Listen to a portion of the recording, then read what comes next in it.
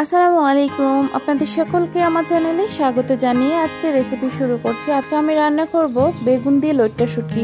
এর জন্য আমি এখানে লোট্টা শুটকি নিয়ে নিয়েছি। আর এই লোট্টা শুটকিগুলোকে আমি ফুটন্ত গরম পানিতে আধা ঘণ্টা ভিজিয়ে রেখেছিলাম। এতে করে এর ভিতর থেকে ময়লাগুলো পরিষ্কার হয়ে যায়।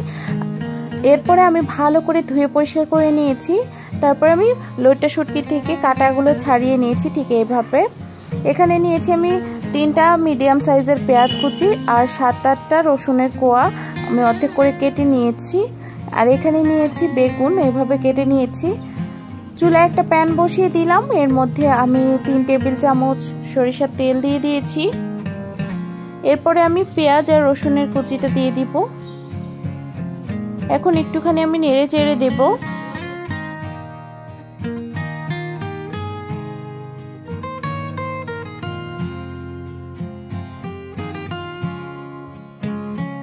এই পর্যায়ে আমি দিয়ে দিলাম লইটা শুটকিগুলো, আর এই লইটা শুটকিগুলোকে পেঁয়াজ রসুনের সাথে আমি ভালো করে প্রায় চার থেকে পাঁচ মিনিট মতো ভেজে নিব।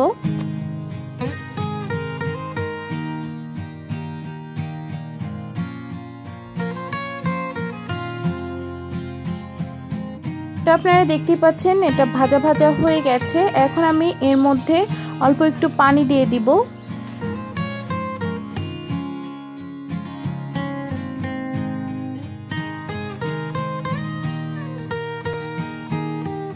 পানি দেওয়ার পরে আমি এখন মশলাগুলো দিয়ে দিচ্ছি। এখানে লবণ দিয়ে দিয়েছি স্বাদ মতো।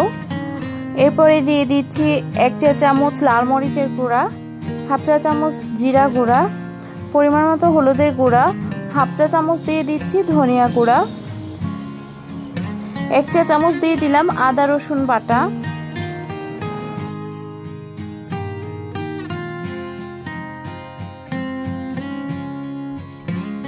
এখন আমি মশলাগুলোকে খুব ভালোভাবে কষিয়ে নিব। তো এই যে দেখুন, আমার মশলাগুলো খুব ভালোভাবে কষানো হয়ে গেছে, দেখতে পাচ্ছেন। এখন আমি এর মধ্যে কেটে রাখা বেগুনগুলো দিয়ে দিয়েছি। বেগুনগুলো দিয়ে আমি এটাকে ভালো করে নেড়ে চেড়ে দিব। নেড়ে চেড়ে দিয়ে আমি ঢাকনা দিয়ে ঢেকে মিডিয়াম হিটে রান্না করব।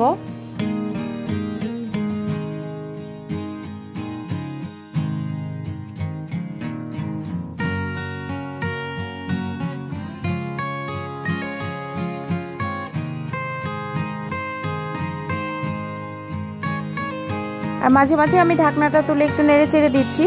আর দেখতেই পেয়েছেন, বেগুনটা প্রায় সেদ্ধ হয়ে এসছে, আর এর মধ্যে এক্সট্রা কোনো পানি দরকার নেই। তো এভাবে আমি একটুখানি নেড়ে চেড়ে দিচ্ছি।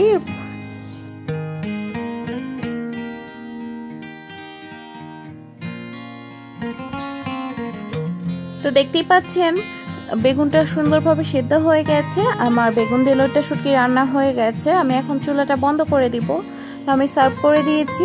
আশা করি আপনাদের রেসিপিটি ভালো লেগেছে। ভালো লাগলে লাইক শেয়ার কমেন্ট করতে ভুলবেন না।